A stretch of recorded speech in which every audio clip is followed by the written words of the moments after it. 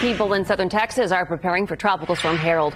Rain is already moving into the state. People in the state have been picking up sandbags ahead of the storm's arrival.